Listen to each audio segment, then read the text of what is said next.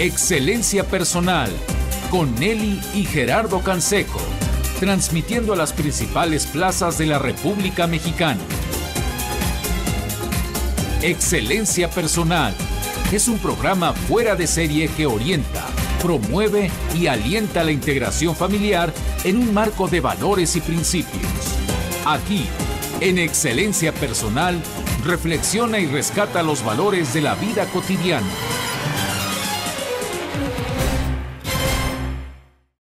Tal amigos? Bienvenidos a su programa Excelencia Personal. Los saludamos con el gusto de siempre desde el estudio Excelencia. Hoy amigos los invitamos a escuchar atentamente al licenciado Gerardo Canseco en paz descanse, quien nos compartirá un programa in memoriam. Son de estos programas enriquecedores, llenos de contenido, llenos de reflexiones, de sentido de la vida, donde estoy seguro que sin duda aprenderemos muchísimo acerca de cómo ser mejores personas, cómo ser mejores padres. Eh, antes de pasarles el micrófono a los colaboradores de hoy con el licenciado Gerardo Canseco, ¿qué les parece si los invito a visitar nuestra casa electrónica? Su casa electrónica, excelenciapersonal.org.mx y lo mismo si necesitan eh, proponer algún tema, cualquier duda, cualquier comentario que nos quieran hacer a Nelly y un servidor, por favor contáctenos en los teléfonos de excelencia personal 56 82 75 00. Sin más, los dejo con el licenciado Gerardo Canseco. Adelante. Amigos, ¿cómo están? Bienvenidos a su programa Excelencia Personal con don Gilberto. Don Gilberto Etienne, ¿cómo estás, Gilberto? Muy bien, don Gerardo, ¿cómo le va a usted? Primer programa de este mes con Gilberto Etienne, que pues hombre, siempre es un entusiasmo, un gusto recibirte, aunque hoy es un día un poco atípico porque generalmente no vienes los viernes, es un día muy complicado para ti, pero agradecemos tu presencia hoy aquí en excelencia personal. Por ti hasta el fin del mundo, maestro, ya sabes. Maestro, muchas gracias. Oye, más. bueno, me, me sugirió un tema, Gilberto, que me parece de verdad súper, súper interesante, porque pues está basado en algo que, que escribió por ahí Albert Ellis, Sí.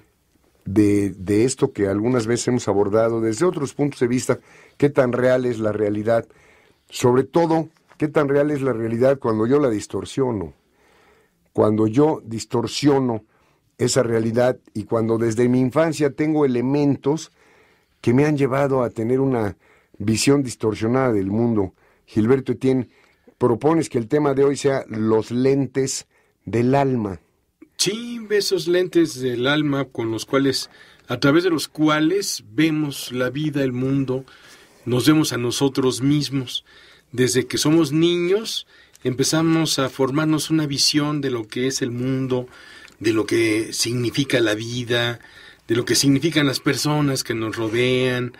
Y bueno, depende de qué tan buena o equivocada sea esta visión, eh, nuestra- se, dependerá nuestra integración, esa autoestima que tantos eh, hemos sufrido tanto con, con la autoestima, sintiéndonos menos, la confianza, la afectividad y bueno, pues en, en general el bienestar o el malestar que nos van a acompañar hasta el último de nuestros días. Siempre y cuando, mm, bueno, cuando no logramos cambiar esas distorsiones de una realidad que captamos a través de lentes demasiado oscuros para ver con claridad, ¿no, Gilberto? Sí, sí, sí. Es, es bien chistoso porque, híjole, bueno, no somos psiquiatras ni psicólogos. No, pero somos humanos y mira, algunos nacieron, el otro día tuve la oportunidad de estar en, una, en, una, en un cumpleaños, en una reunión muy familiar, en la que estaba el hijo de un político, eh, pues que fue bastante famoso,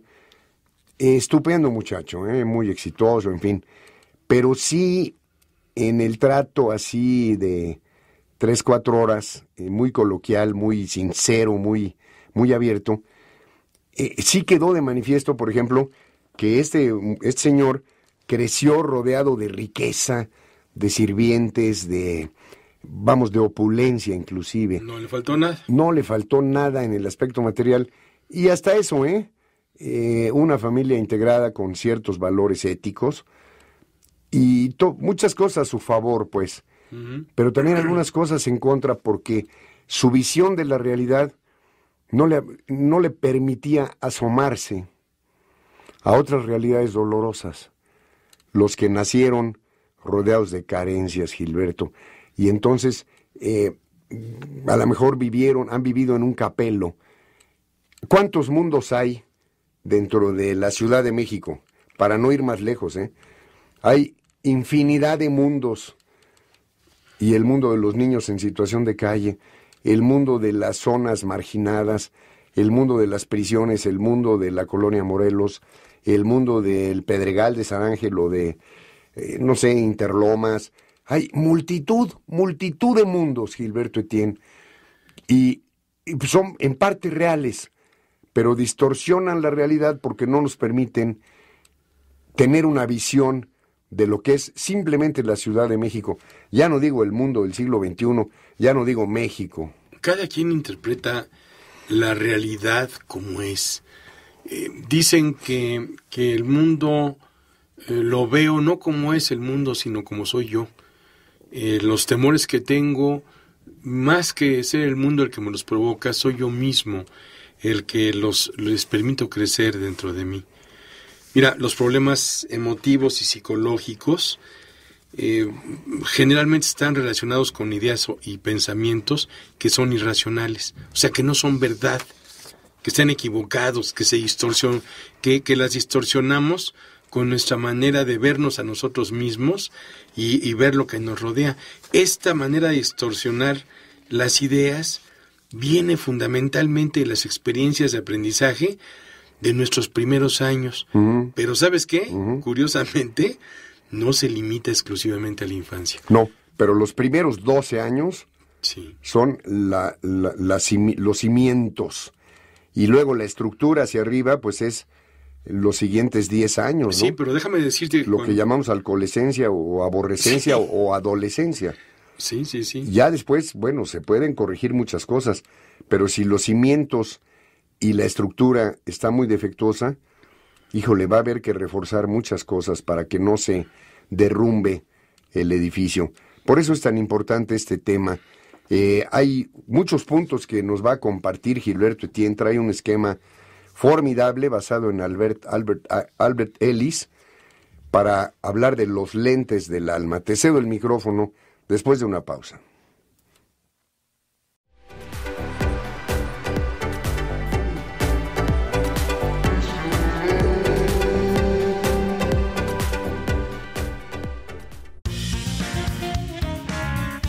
Excelencia Personal te ayuda a recuperar tu salud y tu energía. Con nuestro paquete post-COVID, recupera tu masa muscular, repara y protege tu sistema digestivo. Con esto encontrarás mayor vitalidad y fuerza. Comunícate y adquiere.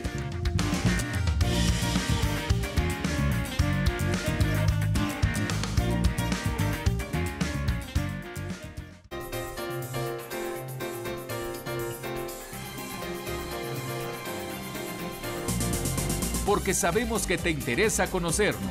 Consulta nuestra página www.excelenciapersonal.org.mx o bien llámanos al 5682-7500. Gilberto Etienne, los lentes del alma, ¿cómo podemos acercarnos a la realidad tal como es para usarla en nuestro beneficio y no en nuestra destrucción? Depende de cómo interpretemos esa realidad. Mira, por ejemplo, estar, eh, ser chaparro, estar enfermo, estar panzón o ser calvo no son en sí mismos un problema.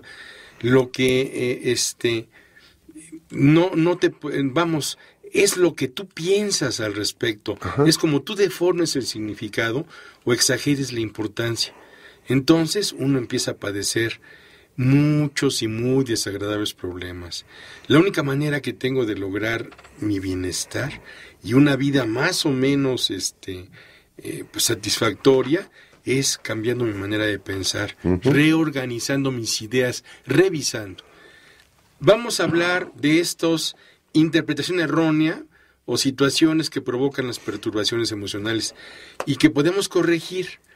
Estamos hablando de pensamientos eh, de que tenemos que, que, que repensar, por decir así, para darnos cuenta de que nos equivocamos cuando, cuando los hicimos nuestros.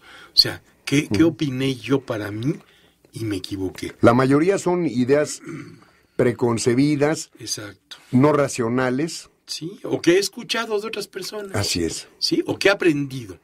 Bueno, la primera, tengo que ser amado y aprobado por todos, especialmente por quienes son más importantes para mí. Tengo que obtener el éxito en todo lo que hago para poder considerarme una persona valiosa. Fíjate nada Esa es la ¿eh? segunda. Sí. La tercera, mi felicidad depende de circunstancias externas. Yo no tengo control sobre mi felicidad. La cuarta, mi comportamiento y mi vida son el resultado de las experiencias que me han golpeado. No puedo hacer nada para modificar la influencia de mi pasado. La quinta, cada uno de mis problemas tiene una solución adecuada y perfecta. Mi tragedia es que nunca la puedo encontrar. La sexta, tengo que estar preparado para lo peor. Debo pensar constantemente en las calamidades que me pueden ocurrir y tratar de preverlas desesperadamente. Uf, La séptima, necesito depender de otros que sean más fuertes que yo y en quienes pueda confiar. La octava, si mi vida no sucede como yo lo había planeado, es verdaderamente catastrófico. O sea, todo tiene que ser de acuerdo a lo como yo quiero. La novena, es más fácil para mí huir de las dificultades y evitar la responsabilidad. La décima, hay personas malvadas, perversas e infames que es necesario juzgar y castigar. Y la onceava, debemos resolver los problemas ajenos, aunque no quieran. Fíjate, nada aunque no más. quieran los demás. No, exactamente. Las siete primeras afirmaciones Ajá. nos llenan de ansiedad y las últimas cuatro provocan una hostilidad terrible en nosotros mismos y en los demás. Y fíjate, si empezamos por la primera, tengo que ser amado y aprobado por todos. Bueno, es una meta que nadie puede alcanzar. No deja más que la posibilidad de fracasar, porque nadie, nadie es totalmente amado y aceptado por todos Claro. mientras más te esfuerzas por alcanzar esa meta, este, más ansiedad te metes y, y más es la frustración que tienes y te desesperas de tal forma que llegas a odiarte. Llegas a odiarte. Y entonces como no eres amado, sí, ¿sabes qué? Quieres destruirte.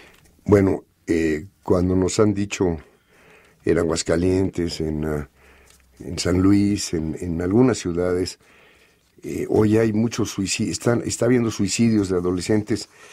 Luego, luego pensamos en esto, ¿eh? en eh, jovencitos y jovencitas, 15, 14, 16 años, que de plano ponen fin a su vida violentamente y otros lentamente a través de la promiscuidad y de las drogas, simplemente porque no son aprobados por sus papás. A ver, Mira, ¿cuántas? cuán- todos, todos deseamos ser amados y aprobados, Claro, pero bueno, no necesito obtener el amor y la aprobación de todo el mundo para estar bien, para sentirme bien. a ver, perdón. ¿Y lo- y lo que se dice? El niño pequeño sí. Es decir, esta es una necesidad del niño hasta los cinco años, es así como el hambre. ah, Y hasta los ocho, y bueno, hasta los doce. Pero ya después tienes que, que- que progresar. Pero es no que te puedes quedar en esa no etapa. se las enseñas a un niño chiquito. No, el niño necesita y desea rabiosamente ser amado, incluso en una forma que él no está dispuesto a amar. Es egocéntrico, pero eso es normal a esa edad. Pero estamos hablando de personas Exacto. ya mayorcitas. O sea, son problemas de personas ya que trascendimos. Se supone ¿eh? que es un mero supositorio, pero se supone que ya trascendimos la infancia. Eh, perdón, eh, François, eh, se dice suposición. Ah, no supositorio. suponer, suponer. Ah, bueno. Pero fíjate, fíjate bien en esto, qué importante es. Si alguien me desaprueba, debo ver si el problema realmente es mío por- O del otro. o del otro, del que me está criticando. Si el problema es mío, bueno, tengo que tratar de cambiar, pero si el problema es de quien me está criticando, será él quien deba cambiar, no Si yo. quiere. Si quiere. Si quiere cambiar, eh. Exacto. Si se amarga porque no le doy gusto, sorry. Sí. Digo, lo siento, perdón. Sí, sí, sí. Me queda muy claro. Es decir, a ver, perdón, lo que fue sano, necesario, normal en la primera y segunda infancia, incluso, bueno, casi hasta en la adolescencia, ya en la juventud adulta y en la etapa de madurez, es una necesidad enferma, es una distorsión de la realidad. Seré feliz el día que todos me aprueben y todos me amen, sobre todo aquellos que son más importantes para mí. Cuando tenga la aceptación incondicional de mis papás, de mi cónyuge, de mis hijos, de mis amigos, de mis compadres, voy a ser feliz. Estás condenado a la infelicidad. Sí. Segundo, segundo punto, Tengo que obtener el éxito en todo lo que hago para poder considerarme una persona valiosa. Si no tengo éxito, si no soy importante, no valgo nada. Esta es otra meta inalcanzable. ¿Sabes qué? Nos lleva a reventar por el esfuerzo, por tanto estar queriendo ser el mejor de los mejores, reventamos. Yo conozco el caso de un muchacho que, que por querer quedar bien en los estudios enloqueció. claro. Enloqueció el chavo Claro, este, ¿no? claro. Se metió una presión tal que, bueno, se le borró la cinta. Aquí hay un elemento terrible, es el miedo al fracaso. Y ese miedo al fracaso alimenta todo el tiempo mi complejo de inferioridad. Tu inseguridad. Sí. Sí, además, estar obsesionado de esta manera provoca enfermedades que se les llaman psicosomáticas. Tú que eres una enciclopedia, bueno, Uf. este, ¿no?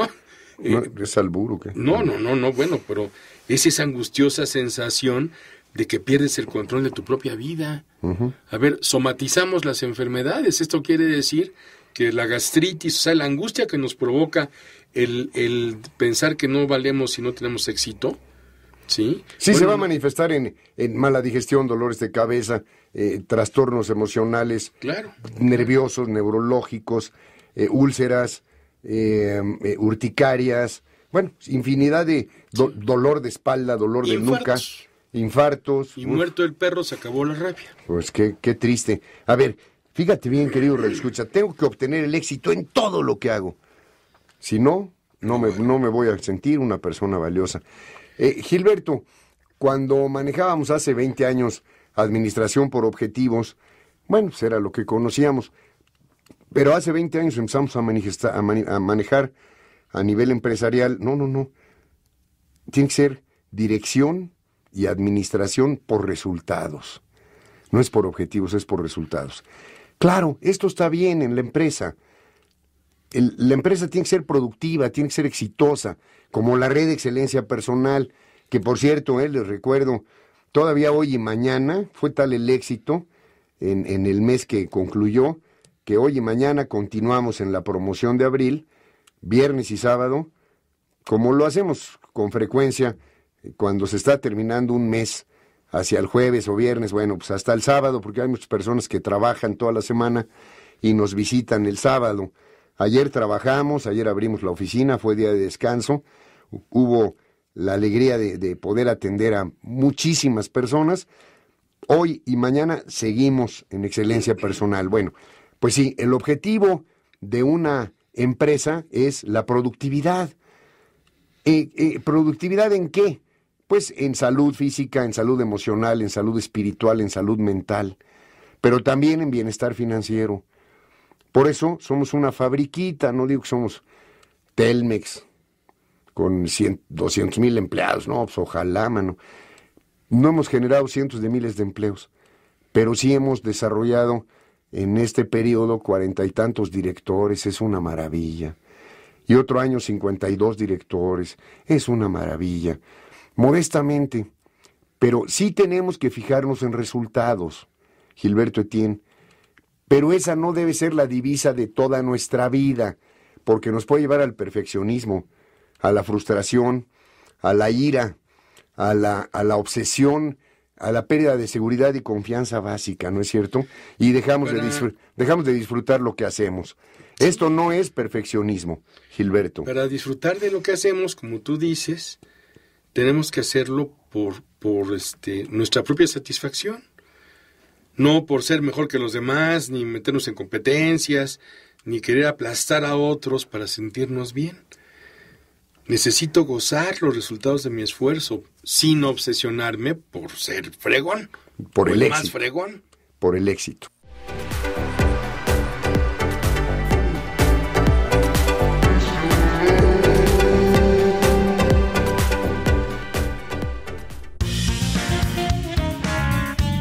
Tenemos paquetes para toda la familia. Como el que sirve para reforzar tus defensas. Te ayudará a proteger tu organismo, cuidarlo y fortalecer tu flora bacteriana. Contáctanos. Todos nuestros paquetes tienen desde el 20 hasta el 30% de descuento.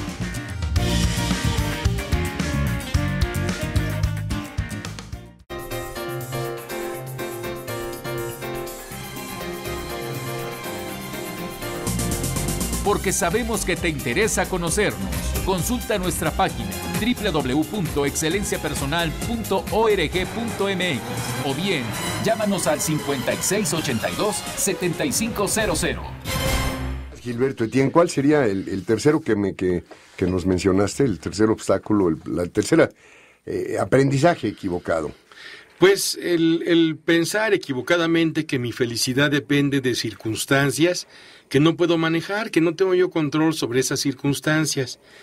Y esto pues es, es, es mentira. Eh, todos, yo creo que bueno, tal vez todos tenemos la tentación de, de contarnos estas mentiras para huir de los desafíos y los retos y las responsabilidades, porque es más fácil hacerte el mártir y poner carita de angustia, fingiendo que eres impotente ante la vida cruel, que realmente este, ver objetivamente tu situación y hacerte responsable por, por hacer lo que tienes que hacer para salir adelante. La felicidad no está, no la determina los condicionamientos externos, es una cuestión de actitudes. Es tu actitud la que determina. Como escuchamos en la primera pausa, ¿no? La actitud da la altitud. ¿sí? Porque la felicidad o la infelicidad no dependen de las circunstancias, no dependen tampoco de las personas ni de las cosas. ¿Y cuántas veces lo hemos, hemos lo hemos visto esto ya, no? Porque no podemos controlar ni las circunstancias, ni a las personas, ni a las cosas. ¿Tú puedes obligar a alguien que te ame? ¿Puedes obligar a un patrón que te pague más? Pues no, ¿verdad? ¿O puedes obligar eh, al, clima que... ¿Que cambie? No. No. Entonces, bueno, más bien depende cómo tú percibes y valoras lo que sucede a tu alrededor. En realidad, tu bienestar proviene de adentro, no de afuera. Tus actitudes te pueden hacer disfrutar el día de campo a pesar de la lluvia. Cambias un poquito las actividades, el ambiente, pero la alegría es una situación interior. No nos cansaremos de insistir en esto porque siempre queremos controlar y luego hasta nos enojamos con Dios, ¿no? Sí. Le damos un acta de despido a Dios como si fuera nuestro empleado. Como no me cumplió mis órdenes, Dios, aquí está tu acta de desempleo y no te voy a dar ni, ni 20 días por año, ni vamos, ni las gracias, fuera de mi vida. Y los salimos perdiendo somos nosotros. Claro. Mi felicidad no depende de circunstancias externas. Cuarto. Bueno, es pensar que mi comportamiento y mi vida son el resultado de las experiencias que he tenido, que me han golpeado. Pobre de mí. Sí, no puedo hacer nada por modificar la influencia de mi pasado. O sea, estas personas que creen que, todo está determinado, ¿no? Eh, este tipo de, de, aceptación así pasiva, eh, se le llama, algunos le llaman determinismo, como eso de que el que nace para tamal del cielo le caen las hojas o el que nace para maceta no pasa el corredor, ¿no? Fíjate que sí, Gilberto. Eh, la miopía y la mala calidad de los lentes de mi alma me hicieron que durante muchos años yo dijera en los programas de radio con una gran miopía, no puedes cambiar tu pasado, tampoco puedes influir en tu futuro, lo único que tienes es tu presente, que es un regalo. Vive hoy, actúa bien hoy. Gracias a Dios me cambiaron los lentes, las barneches, los cándano, muchos colaboradores de este programa y ahora ya puedo ver con otros lentes, sí puedo cambiar mi pasado. No puedo cambiar lo que me sucedió. No puedo cambiar las tonterías y tontejadas y pecados y errores que he cometido. Eso no lo puedo cambiar. Pero puedo cambiar mi actitud y mi aprendizaje y la interpretación que le doy a lo que me sucedió que yo no provoqué y a lo que yo provoqué e hice que me sucediera, aunque fuera negativo o desagradable. Entonces me parece muy importante este punto, me toca a mí en lo personal.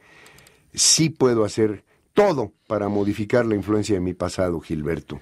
Sí, casi siempre cuando usamos este argumento, es para hacernos guajes, ¿sí? Para no enfrentarnos al reto que supone un esfuerzo para poder salir adelante, ¿no? Más vale hacerse tonto. Bueno, sabemos que el pasado tiene una importancia y que su influencia también, pero también sabemos que podemos cambiar. Hace, tú, hace un momento tú lo estás diciendo, ¿no? Si somos capaces de reevaluar nuestras creencias, ¿no? ¿Qué creía yo? ¿Qué creo hoy? De reinterpretar los acontecimientos, como eso de que, ay, fue una maldición. No, fue un regalo de Dios. Pero ¿cómo va a ser un regalo de Dios el que haya muerto mi padre?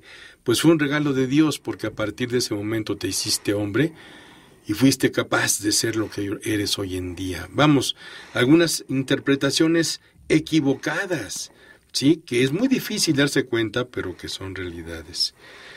Y también reconsiderar nuestras capacidades, nuestras cualidades. Siempre, Ger, siempre seremos más grandes que nuestros problemas. No porque seamos muy fregones, por la gracia de Dios, nada más. Gilberto, antes de seguir adelante, nos dicen eh, aquí, bueno, una llamada que recibió eh, Rubí. Hay varias personas que están llamando por teléfono eh, pidiendo bibliografía, pidiendo que se digan despacito los 11 puntos. Bueno, está muy difícil, no nos alcanzaría el tiempo pero sí podemos recomendar algunos libros. Por ejemplo, yo puedo recomendar un libro que ya he recomendado. La mitad del libro, la primera mitad, es la, que trae todo el oro. Es un libro de Ngo Din Tag. Es difícil la pronunciación. N-G-O, Ngo, Din, D-H-I-N, T-H-A-G-H, Tacht, Tag. Es un monje budista y el libro se llama Ser Paz. Ser Paz, porque pues aunque no trata los once puntos, eh, sí los aborda, no en ese orden ni con esas palabras, pero sí nos lleva a conclusiones muy claras y con ejemplos y un lenguaje muy sencillo para comprender que todo depende de nuestra visión interior. Y de Albert Ellis, ¿qué, qué puedes recomendar? Pues mira, Albert Ellis es citado por John Powell.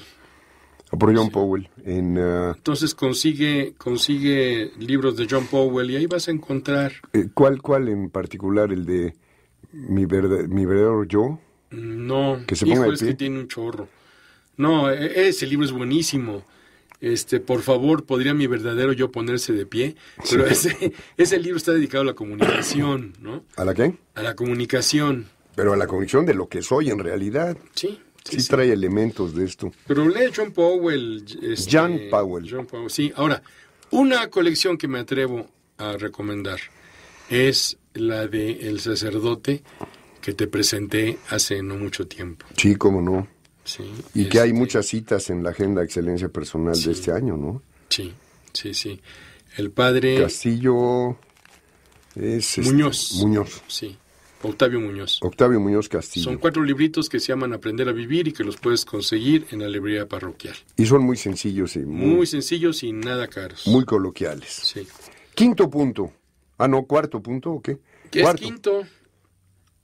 Perdón, quinto punto. Quinto. Cada uno de mis problemas tiene una solución adecuada y perfecta. Mi tragedia es que nunca la puedo encontrar esa maldita solución. Bueno, es, es darte por vencido, man.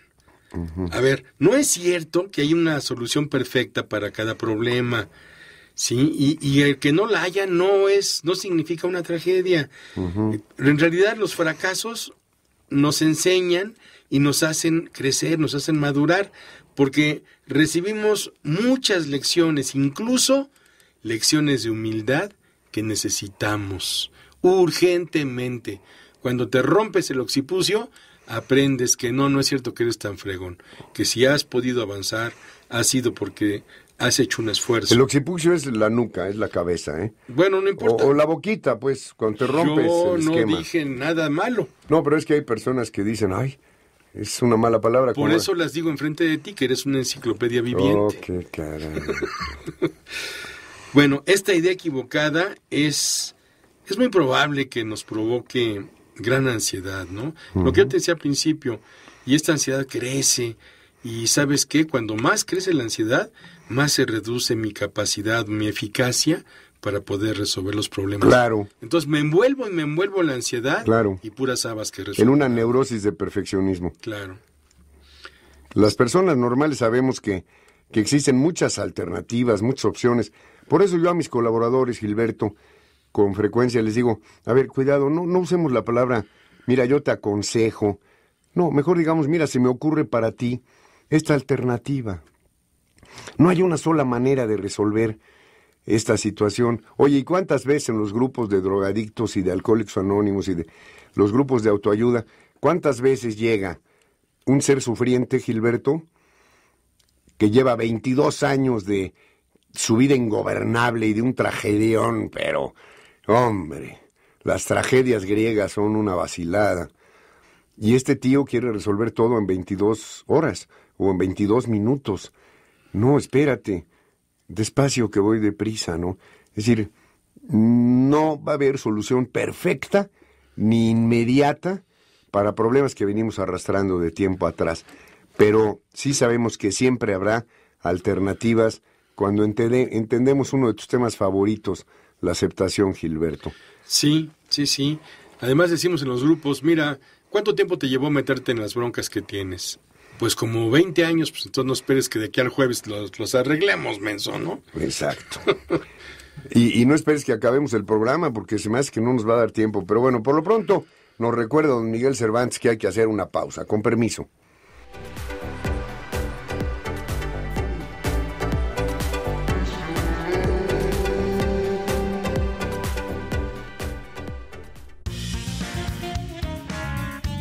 Si te sientes cansado y con poca fuerza, lo que necesitas es nuestro paquete Vitalidad Total. Este lo diseñamos para ayudarte a tener energía y vitalidad, especialmente con un multivitamínico completo, proteína que incluye enzimas y nutrientes esenciales y probióticos para desintoxicarte.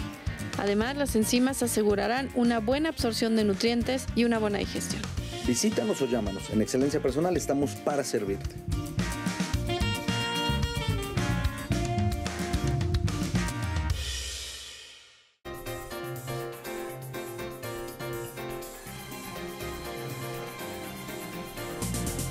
Porque sabemos que te interesa conocernos. Consulta nuestra página www.excelenciapersonal.org.mx o bien llámanos al 5682-7500. Gilberto Etienne, la sexta idea equivocada que tenemos cuando los, la- los lentes del alma, pues, se nos rompieron. Sí, se nos distorsionaron. Tengo que estar preparado para lo peor. Debo pensar constantemente en las calamidades que me pueden ocurrir y tratar de preverlas con desesperación. Y esto pues, es una tontería, creer que preocuparme o angustiarme puede ser útil para algo. Lo único que, que logra uno cuando pierde la es perder la proporción del- de los problemas y sobre todo salirte de la realidad, pierdes la objetividad acerca de los posibles peligros y, y bueno, Y otra vez- exageras los riesgos, ¿no? Claro. Y obviamente al exagerar todo esto y a estar tan alocado, te alocas, ¿eh? O sea, te, te, te, te vuelves neurótico, y reduces tu eficacia en caso de que en verdad ocurra un desastre. Sí, o algo desagradable, ¿no? Sí, sí, sí. Es el tremendismo y la angustia anticipatoria. Sí, esto es para las personas que son así, que siempre están, este, ¿cómo se dice? Agorando desastres y calamidades todos los días cuando se levantan. Ahora sí, hoy es el día del juicio final.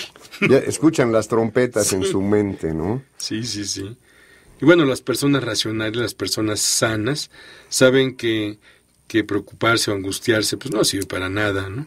Por eso mejor se dedican su tiempo y su energía a, a valorar las situaciones, ¿no? Y, y tomar decisiones acerca de que si sucede algún problema, este, sin, sin decir que va a suceder, ¿verdad? prepararse para ver las opciones que tienen, ¿sí? Y bueno, si en el momento que sucede alguna calamidad o algún desastre, llegan a paralizarse, como es muy común que nos paralicemos por el miedo, ¿sí? Recurren pues a su paz interior, A a, su su, fuerza serenidad. interior, a su serenidad, recurren inclusive a su fe, que es lo más importante, ¿no? Y ojalá pues a la oración. Claro. Que es un recurso maravilloso. Claro. Séptimo. Necesito, dime. No, séptima creencia ah, e equivocada, errónea. Necesito depender de otros que sean más fuertes que yo y en quienes pueda confiar. Bueno, esta es una distorsión y, es una exageración fuera de lugar de la dependencia que nos impide caminar libres, que nos impide ser autónomos, auténticos. Mientras más dependiente me hago, más estoy a merced de las personas de las que trato de colgarme. ¿sí? Entonces, bueno, aquí hay la dependencia, la codependencia, ¿no? y, bueno, pierdes tu libertad. Muchos tenemos dependencias de toda naturaleza, ¿eh? físicas, económicas, emocionales, inclusive espirituales. ¿eh? Sí. Entonces... Oye, pero, pero aquí, perdón, no me quiero confundir, Gilberto. Si yo tengo un problema con las drogas, si yo tengo un problema con el alcohol, si yo tengo un problema con, con la ira, si yo tengo un problema con la lujuria y he luchado durante años, entonces debo buscar ayuda, ¿no? Y si es alcoholismo, pues ahí está Alcohólicos Anónimos. Ahí está un poder superior. Y puedo llegar a depender de un poder superior. Pero, y, bueno, del padrino, ¿no? Porque hay padrinos en los grupos de autoayuda. Pero no en una codependencia, sino buscando a alguien que ya sufrió más que yo, o muy parecido a mí, pero está en proceso de superarlo solo por hoy.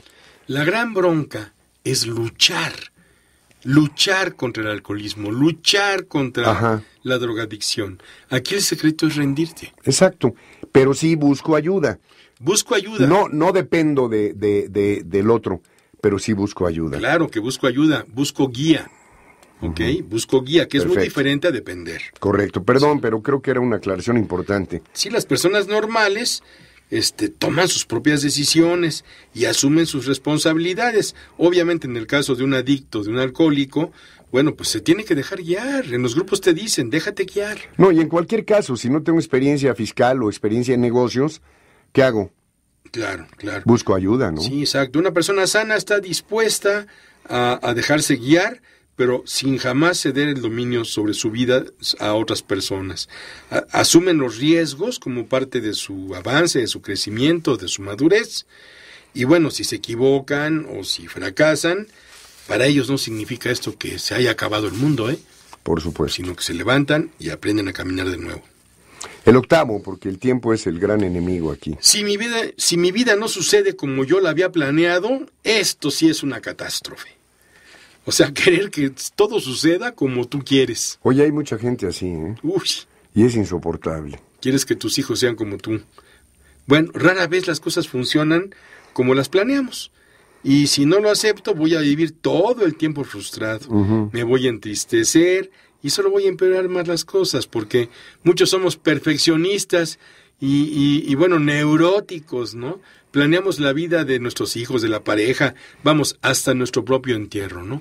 Nos imaginamos quién va a ir, etcétera. No, bueno, hay que pagar el entierro, pero no, sí. no la muele. Sí, sí, es cierto. Y como realmente pocas veces logramos que, que esto sea realidad, pues siempre padecemos úlceras, gastritis, y bueno, como decíamos hace rato también, un infarto, ¿no? Es bueno, es bueno procurar el éxito y el logro en nuestros proyectos, pero hay que estar dispuestos a improvisar cuando las cosas no salen como nosotros esperábamos.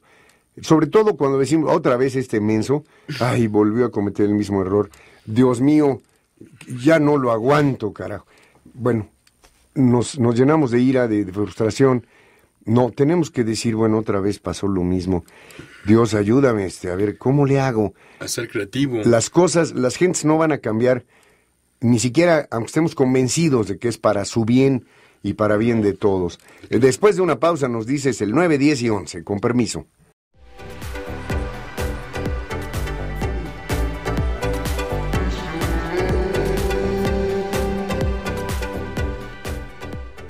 En esta contingencia es importante reforzar nuestras defensas sin salir de casa. Comunícate con nosotros y te decimos cómo puedes recibir nuestros productos hasta la puerta de tu casa.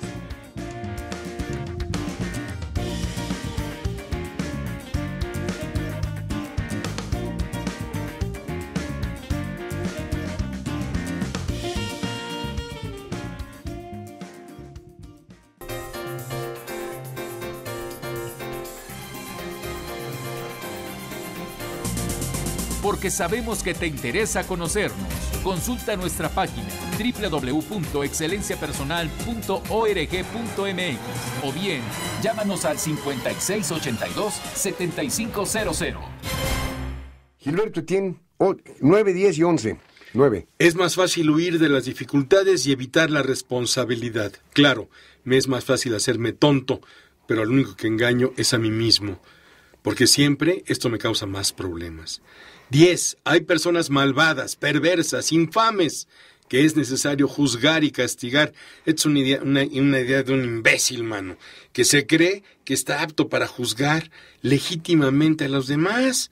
Sí, que, que, que puede ser la conciencia pura y, se cree superior a los demás. Esto es un verdaderamente un orgullo, una soberbia enorme. Perdón, desgraciadamente la inseguridad que ha crecido en forma infame en la última década, en los últimos 20 años más bien, el crimen organizado, los secuestros, todo este mal que azota a la sociedad mexicana, pues sí hace que la misma sociedad eh, pida castigos mayores, pida otros mecanismos de seguridad, pero no es el el castigo nunca corrige. Solo el amor puede hacerlo. Solo el amor puede hacerlo. Es una frase de la Agenda de Excelencia Personal. Y de Bill Wilson, de Bill fundador, cofundador de Alcohólicos Anónimos. Y el 11. Debemos resolver los problemas ajenos, aunque no nos lo pidan. Te voy a llevar al cielo aunque no quieras. Exacto, aunque, no, aunque te niegues. Bueno, es, yo quisiera decir una palabra, pero no la digo porque estamos en el radio. Pero es, es una, una actitud de, este, de servilismo estúpido, ¿no? O sea, no puedes ayudar al que no quiere ayuda. No. ¿Sí? ¿Sabes qué? Si te piden ayuda, hazte presente. Si no, hazte un lado. Y bueno, finalmente, Ellis clasificó estos 11 conceptos erróneos en tres categorías. Él llama lamentaciones a estas categorías, ¿no? Exacto. Y son actitudes irracionales que nos afligen con más o menos frecuencia. ¿Cuáles son estas La tres? La primera, pobre de mí, qué horrible soy, no valgo nada. Pobre de mí. Autocompasión, el, peor de los males. No valgo nada. Em, em, emocionales y mentales. Escúpanme. El dos, pobres de los demás son tan estúpidos. Es horrible hacer, hacer lo que hacen y lo que me hacen. Son despreciables, la gente es mala, el mundo es bueno. Y en la tres, qué vida y qué mundo tan absurdos. Es horrible lo que sucede a mi alrededor no lo soporto. La vida es una el hombre es una pasión inútil. Sí, sí, sí, y vamos, viva mi desgracia si es que no me quieres más, como dice la canción, ¿no? Oye, pues lástima, nos tenemos que despedir, Gilberto, pero a mí me compartiste mucho, ojalá que a nuestros radioescuchas también.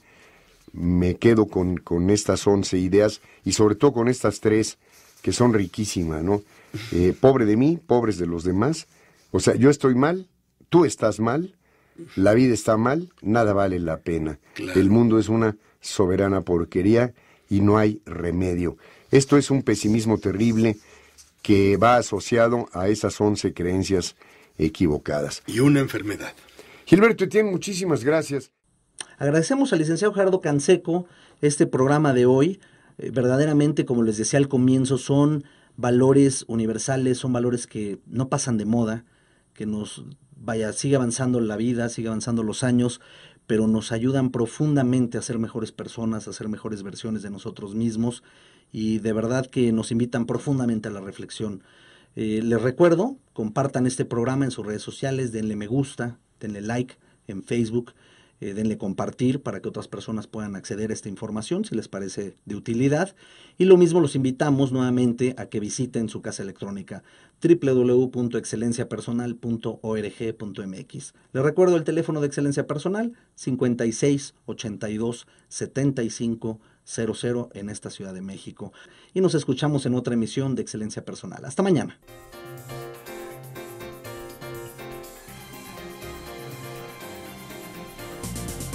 Excelencia Personal.